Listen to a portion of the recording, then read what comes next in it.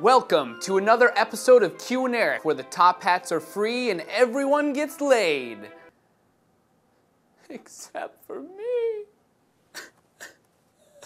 Our first question comes from Big Ball Bubblehead, and they want to know what brand of nose putty I use. I use Wish Plastique from Kryolan, or for those who don't speak German or whatever, soft nose putty from Kryolan. Exploding Pigeons, sick bastard, wants to know if there's a non-painful way to remove spirit gum. The answer is spirit gum remover. It smells funny, tastes bad, but is great at removing spirit gum. Exploding Pigeon also wanted to know what would be better for recreating a Blue Man Group effect, liquid latex or like grease paint. I would go with grease paint on the face and then you're going to use a bald cap and maybe a little bit of liquid latex around here. Or you could just shave your head, you know, if you're into that. Mr. Choco Prince wants to know how long it takes us to film Q and Erik and Backyard Effects. For Q and Erik, it usually takes us about half an hour, 45 minutes, just a couple dudes goofing around in the studio, drinking energy drinks, and being crazy. And Backyard Effects takes much, much longer. It hurts my soul and my spleen and my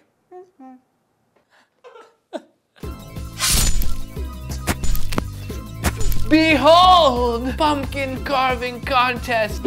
We're looking for photos and 30 second video clips of your best Indy Mogul carvings. Upload them on our website. The deadline is November 1st. The winner gets a mini DV camera, a complete sound kit, editing software, and DV tapes.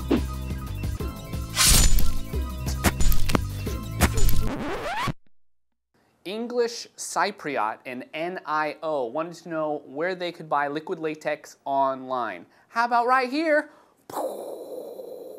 Sorry everyone, I was gonna do the whole Bing thing, but I sprained my finger last week doing it, so no more Bings for a while. Gotta take it easy. Bing, ah, see, it hurts. Moonwolf from the forums wanted to know what my recipe is for fake blood. It's corn syrup, red food coloring, and a little bit of chocolate syrup to make it extra chunky and dark. Now, depending on your needs, you might need it to be less thick. In that case, you can always water it down with water or urine, but probably water. It's safer, not gross. Anime King 527 wanted to know how many Sunday newspapers it takes to fill up the stunt dummy. Now, I used about three to three and a half big fat papers. DavBowl23 wanted to know if I actually spin the wheel of prosperity or it's some kind of magic animated effect or it's all computers or magic or voodoo. But I can assure you that there is a real wheel of prosperity and I actually spin it every week. If it looks funny, it's because sometimes we have to speed it up so you're not just sitting there watching it spin for a long time. We do use voodoo, but not for the wheel for other things.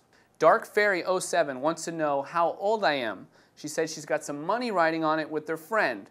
And my question to you is, how much money are we talking about? Because if it's more than 50 bucks, email me, tell me how old you think I am, and that's how old I'll be. And we will split that shit. But seriously, I'm, I'm 26. Now, because Justin's a loser and he's on vacation, oh, I'm Justin, I'm in the Caribbean. Here's Steve with an update from the forums.